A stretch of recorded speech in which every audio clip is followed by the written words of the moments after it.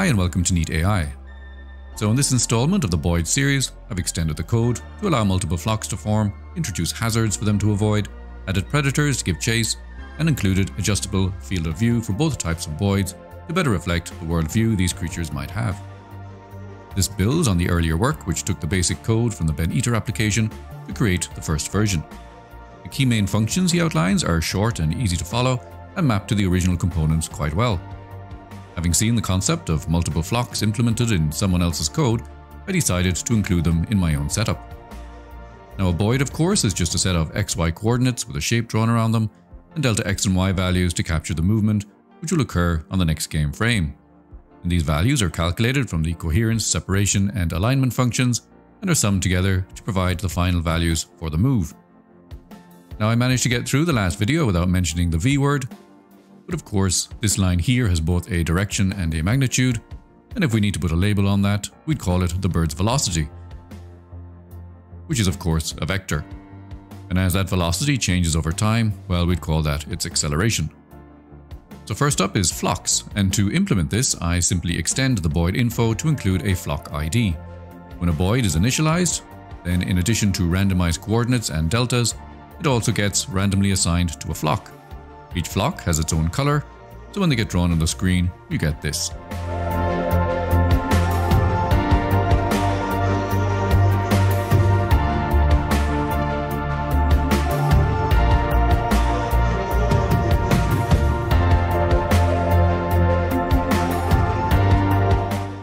So far so good. But of course, now I want the flock ID to do something other than just have a different color. To get birds of a feather to flock together, I need to add it as a filter to the coherence function. So in addition to the visual range setting, I'll add another condition which requires that the Boids be of the same flock before a coherence vector can be calculated. So let's see what that looks like.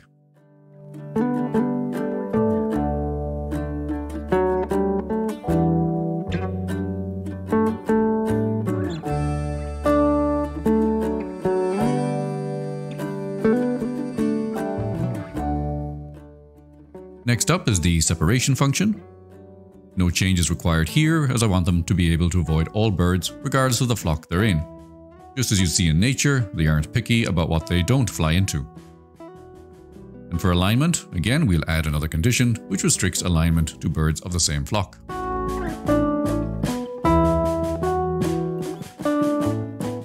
Currently the boids have 360 degree radar, which probably isn't realistic, as it means they know what's happening directly behind them.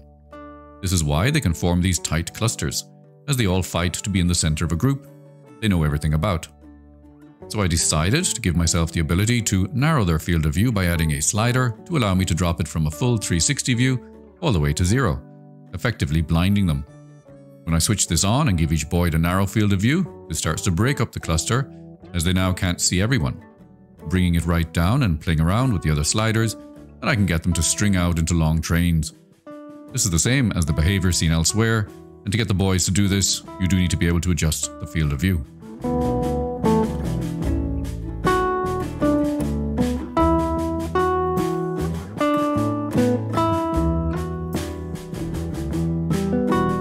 Next is object avoidance, so I want to be able to click anywhere in the map and insert an object for the boids to avoid.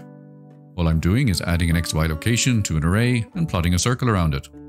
I've then created a function which asks each Boid if it can see that object, and if it can, then it should get a vector component which turns it away.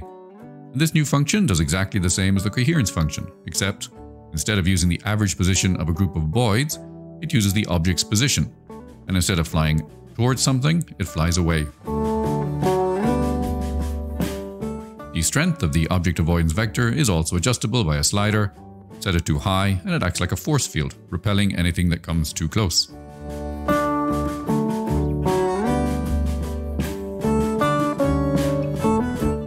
Playing around with these settings gives different types of behaviors. It's a bit like baking a cake, a dash of coherence, a smidge of separation, a sprinkling of alignment, and you can get the Boids to interact in different ways.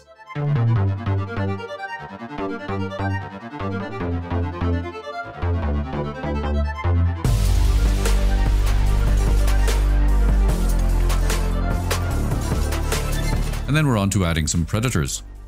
These are just another flock that's added to the mix. but with their own coherence, separation, and alignment settings. I add a predator role to the Boid info and colour them red. Whether or not a Boid is a predator is a random operation, with about 15% of the population being chosen for this role.